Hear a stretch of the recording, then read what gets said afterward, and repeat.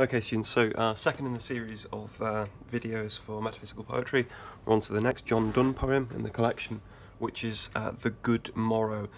One of the things you might notice about this poem, which is very, very different from the first one, which we studied, The Flea, is that this is actually um, a love poem.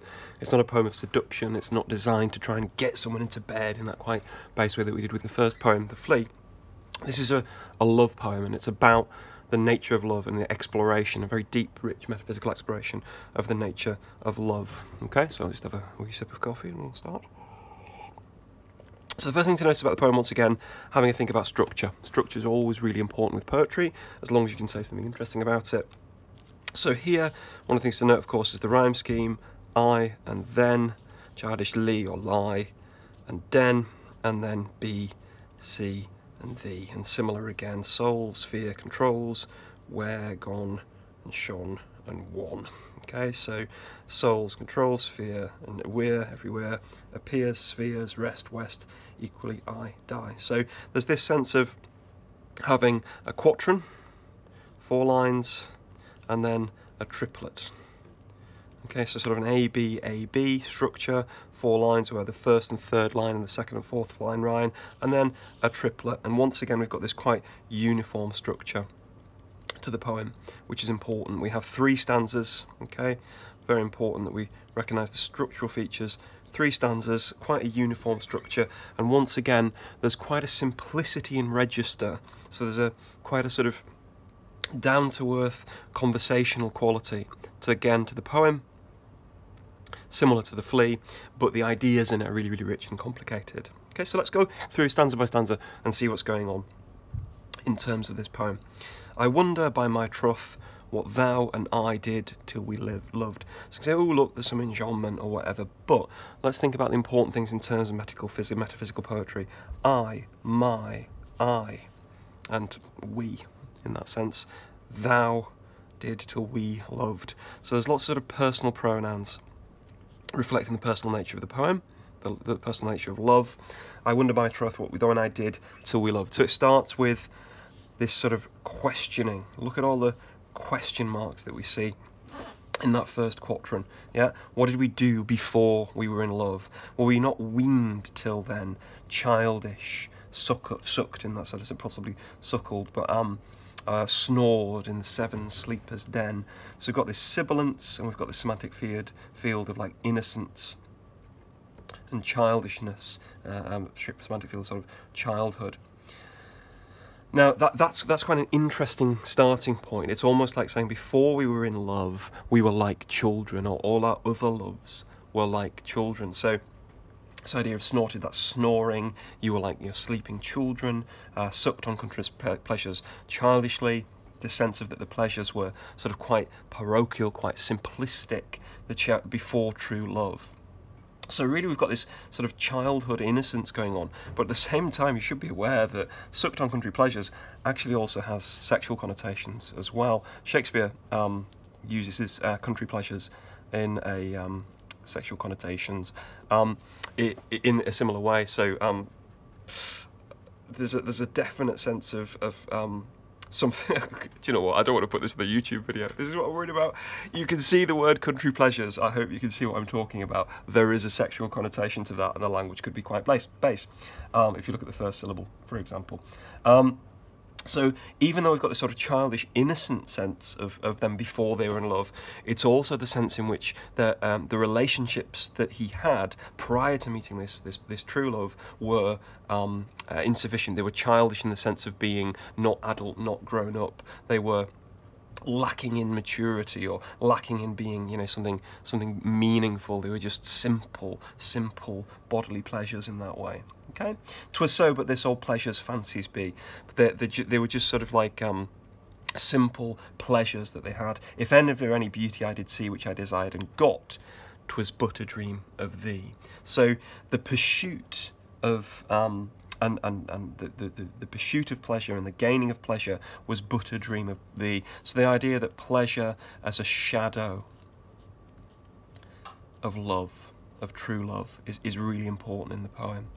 Now that's important right from the start in terms of context because one of the things that's said about this poem is it's anti-Petrarchan. What's that mean, Phil? Well, I'm going to tell you. So, uh, Petrarchan love poetry in the Elizabethan period, so the period before the 17th century under Queen Elizabeth, the Elizabethan period, love was all about the hunt.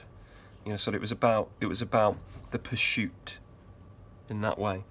So, what pleasures used to the pleasures that used to come from love weren't really explored. It was more the frustration felt by someone with unrequited love. That was a real sort of concern for Elizabethan love poets. This intense, almost wonderful pleasure of unrequited love, of that that true love of of wanting but not getting.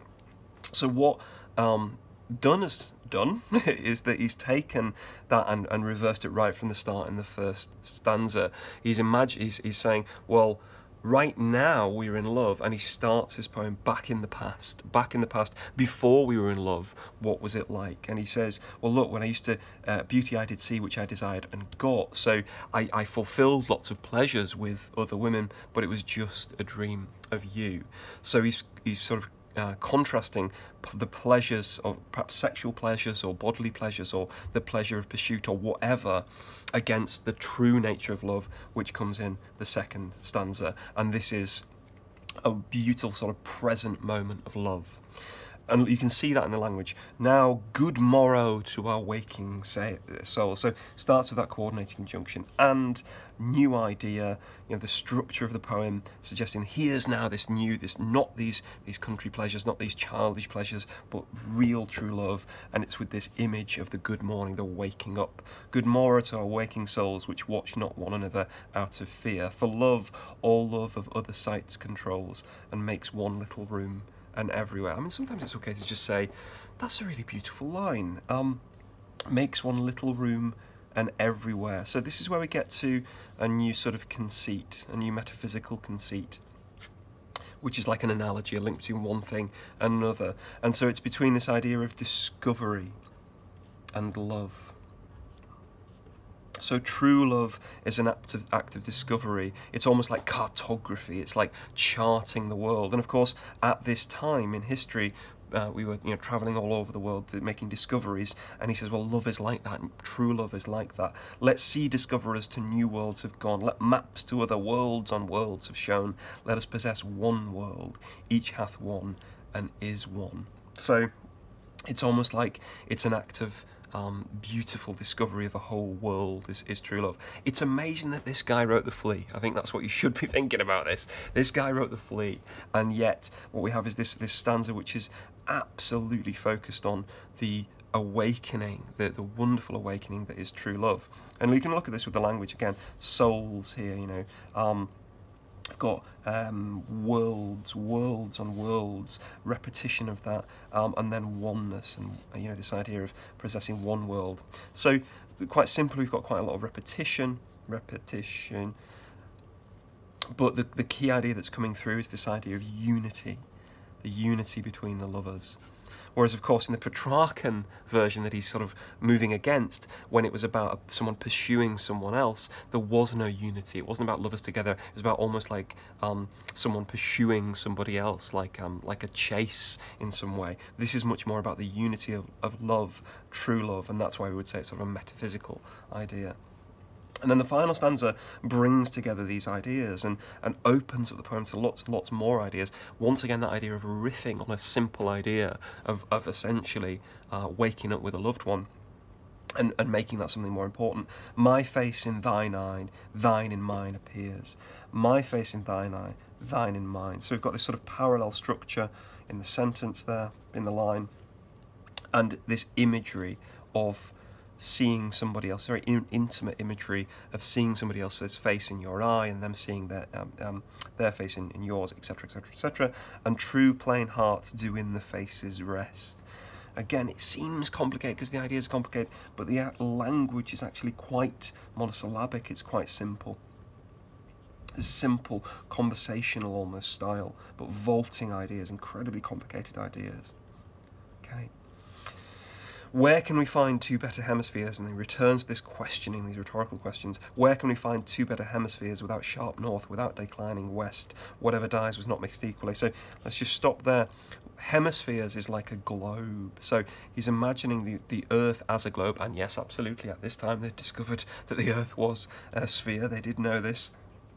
Two hemispheres. So the two lovers are like two parts of a glo globe, but without the sharp north or declining west, better than a whole planet in that way. So again, this metaphysical conceit is sort of riffing on this idea that the lovers are like a whole world.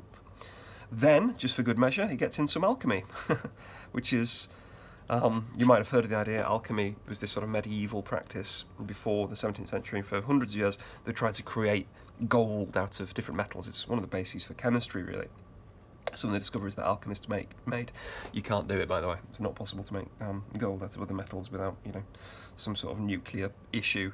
Um, whatever I'm not a scientist. Whatever dies was not mixed equally. If our two lives be one, or thou and I, like so alike, love so alike that none slacken, none can die. So this idea that things only die if they're not of equal measure, this is one of the alchemical ideas, the idea of alchemists, early chemists.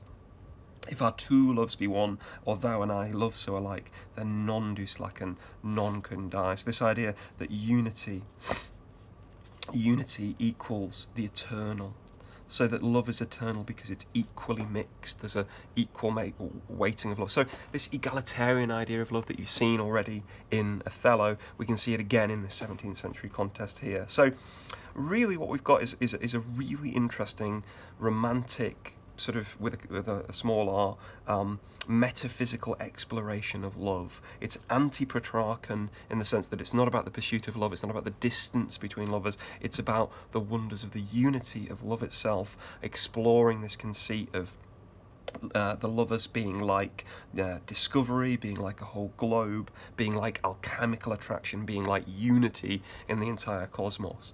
And then the whole poem being bright, brought again back towards the end. Love so light that none do, do slacken, none can die. The idea that love is a way of being uh, everlasting and eternal, which of course has got uh, religious connotations as well. So it's a lovely, lovely poem, only three stanzas, very unified structure, which would link to the idea that it's supposed to be a, a unified theme within it. We've got this very strange first stanza, which has these big rhetorical questions. What was it like before we loved? With this sort of uh, strange, innocent sort of uh, um, imagery, but at the same time almost saying that, that the type of pleasures he used to pursue before he got true love was somehow um, not adult or somehow not uh, mature or something like those. It was, it was sort of a, a parochial country pleasure, nothing particularly um, developed. Whereas the true love he has now is about souls, it's about unity, it's this beautiful, beautiful imagery of one room being in everywhere. I mean, how beautiful an idea is that, that the, the two lovers together is like they've discovered a whole new world. And then the final stanza it explores and it becomes this what we might call very heterogeneous poem. So hetero genus just means that it's or heterogeneity it's just a really big poem bringing together lots and lots and lots of ideas from um, geography from cartography map making from uh, other ideas of uh, seven sleepers den as a link to mythology um, to uh, the you know, understanding of um, uh, uh, what do we call it, uh, alchemy to an understanding of astronomy and astrology, the idea of, of, of, the whole universe really revolving around love, and of course that being a particularly interesting Christian idea that, that in love one can live forever. Right, you can tell I like this poem, can't you? Okay, cheers, bye.